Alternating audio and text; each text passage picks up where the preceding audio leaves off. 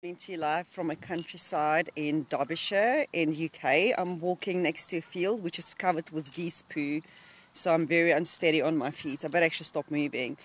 Anyway, so today I actually wanted to talk about why visualization, meditation, journaling may not always work for us. And I know it's something that I have been going through, and recently I had this epiphany which I just felt like sharing sharing today really.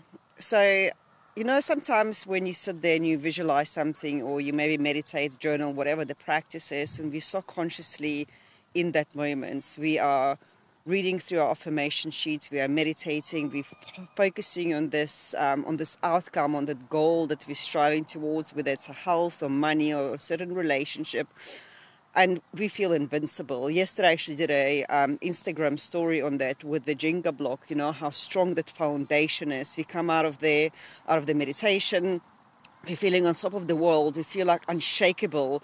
We feel so empowered. And then a few hours later, we walk into a room, into the kitchen, or somebody comes to see us. Maybe it's our partner, and we share our vision and dreams and beliefs with them. And they say, "Well." You're never going to have that. Or, well, you've been doing it for a year, so what's going to be different?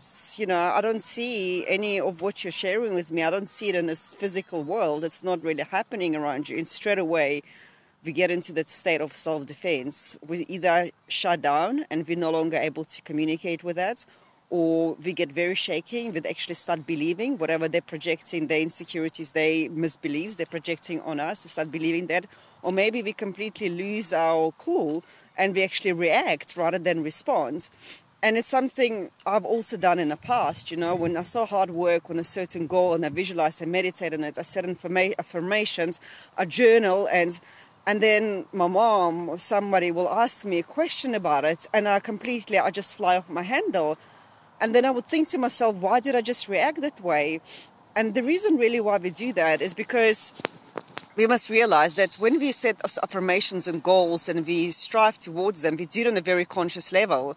But only about 5% of what we do is conscious, and everything, you know, the remaining 95 is unconscious. So, on a deep level, we have not embodied ourselves. We have not embodied that version we want to become we have not embodied that, you know, if you're working on a health goal, that healthier version that you're becoming, or the wealthier version, or the more abundant, or this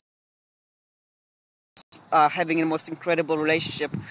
We have not integrated every single aspect of the future, of our future selves, into our existing reality. And that's why there is a big mismatch. And all it takes is just one little poke, and for our whole foundation to crumble down and another reason why it may also not work. And I actually invite you to maybe go back like to your childhood or maybe like your early teens or, you know, whenever really at the time in your life when it felt like no matter what you wished and what you desired would just manifest in your life. You know, whether it was maybe like a child, you wanted a bicycle or something for Christmas or for your birthday, and all of a sudden, pff, voila, you got it. You know, I remember I was about 24 and it was the first time I wanted to buy a house. I was living in South Africa then and my dad said to me, I will help you with the deposit, with half a deposit. We're going to go half half. And rest of the money, he said, I don't care how you're going to get it, but that's, that's on your shoulders. And I remember going to work and thinking, how am I going to get the money? I just did not have that money. And I had to give the agency an answer by like end of the next week. So I did not know anything about manifesting. It wasn't back then. It was like 90s. No, I can't remember. Early 2000s maybe. I knew nothing about that. But I remember writing on a piece of paper the amounts of money I want and when I needed by.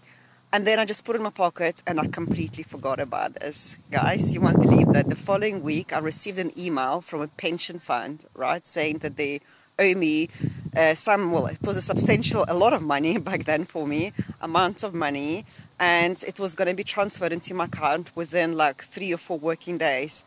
That amount of money was exactly what I needed for my deposits. And, you know, when I go back in time and I see how many how many times really things have manifested in my life when I really strongly desire them. And if I look now, I'm like, why is it so much more difficult? for things to appear in a physical form. And the reason for that, guys, the reason for that is attachment. Because we're so focused, we're so fixated on these results um, that we so want to bring in our lives that we are meditating, we're journaling on them, and we are attaching to them. And every time we attach to something, we're projecting an energy of lack, and that's what we receive back is lack. So, you know, when I just kind of realized those two things, and I looked back in my life and I looked back on how supported I was throughout my childhood, throughout even my, you know, the time when I was a, a grown up, it just blows my mind how universe always has my back. But yet I also, you know, I go through phases where I doubt myself, I doubt my actions, I doubt whether I'm going to achieve things like that. And I just wanted to remind you that if you had to go look back into your life, you may be surprised to realize how many times the the universe had your back also. Um, and on a final note, I also wanted to add, especially regarding visualization, that's not all of us are really designed to be able to visualize. So I've already spoke about various energy centers in our body, and there are nine energy centers according to human design. One of them is Ajna, and Ajna it's also correlated to Ajna chakra in Hindu system, and about 70% of us, more or less, have it undefined.